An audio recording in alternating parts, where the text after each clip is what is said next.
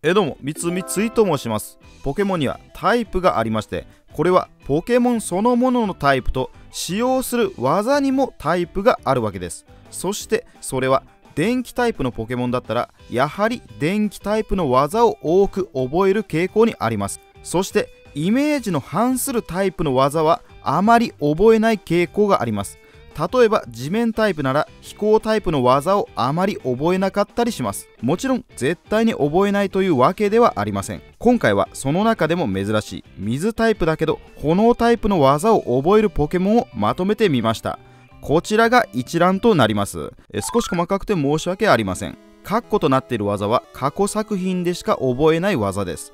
同じく過去作品の技ですが今回の集計は目覚めるパワー炎は除いております。ご了承くださいませ。あとアルセウスのところの赤字のブラスト版は配布限定となっております。ということで炎技を覚える水タイプのポケモン22匹しかおりませんでした。さらにこれを攻撃技に絞ると14匹。そのうち物理の炎技を覚えるのはなんと5匹しかおりません。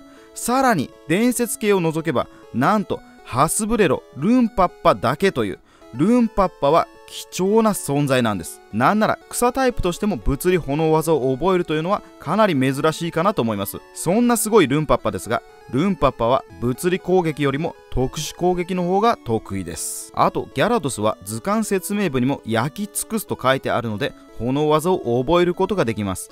ただし特攻はそこまで高くないです。日本バレを覚える水ポケモンそれなりの数いますが晴れ状態というのは水技の威力を落として炎技の威力を上げて自身の弱点であるソーラービームソーラーブレードが一ターンで発動できるという状態なので水タイプにとってメリットは少ないんじゃないかなと思います。それに関連した話だとスイ君エンテイライコは全員共通して天候技を全て覚えます。エンテイは炎タイプで雨乞いを覚える結構珍しいポケモンです。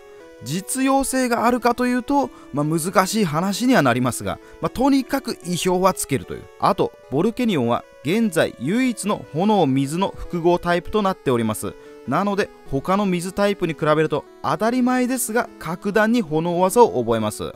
まあ、そんな感じで炎タイプの技を覚える水タイプポケモンまとめでした。ここまでご視聴ありがとうございました。良ければチャンネル登録していただけると嬉しく思います。それではお疲れ様でした。